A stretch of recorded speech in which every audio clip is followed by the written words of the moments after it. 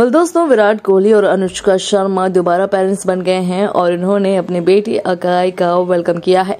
दोनों कपल ने अपने बेटे का नाम बड़े ही प्यार से अकाय रखा है और उसके बाद से अब खबर आ रही है कि विराट कोहली लंदन से भारत तो वापस आ ही गए। उसके बाद उन्होंने अनुष्का शर्मा और बेटे अकाय का ग्रैंड वेलकम भी किया है। दरअसल, पिछले दिनों खबर आई थी की विराट कोहली लंदन से भारत वापस आ गए हैं और अब खबर आ रही है की अनुष्का शर्मा अपने दोनों बच्चों के साथ इंडिया वापस लौट आई हैं, जिसके बाद से विराट कोहली ने बड़े ही ग्रैंड तरीके से अपने बच्चे का और बीवी का वेलकम किया है। जी हाँ विराट कोहली एक अच्छे फादर हैं और उन्होंने अपने एक अच्छे फादर फिगर होने का फ़र्ज़ भी अदा किया है। उन्होंने बहुत ही बेहतरीन, शानदार ढंग से अकाय कोहली का वेलकम किया है, जिसे देखकर हर कोई हैरान रह गया। और अब खबर ये भी आ रही है कि अकाय कोहली लंदन में नहीं रहेंगे। जी हाँ वो इंडिया में ही रहने वाले हैं। जी हाँ पहले खबरें ऐसी थी कि विराट कोहली, अनुष्का शर्मा और उनके दोनों बच्चे लंदन में ही रहेंगे, लेकिन ये भारत वापस लौट आए हैं और भारत में ही रहने वाले हैं। इतना ही नहीं, विराट कोहली आईपीएल तैयारी भी शुरू कर चुके हैं। बता दें कि आईपीएल के सत्रहवें सीज़न की तैयारी जोरों से शुरू हो चुकी है, जिसमें विराट कोहली भी खेलते हुए नज़र आएँगे। मतलब आप बताइए, विराट कोहली का ये अंदाज अपने बच्चे और बीवी का ग्रैंड वेलकम करने वाला अंदाज आपको कैसा लगा? साथ ही साथ अगर आपको ये वीडियो पसंद आई है तो इस वीडियो को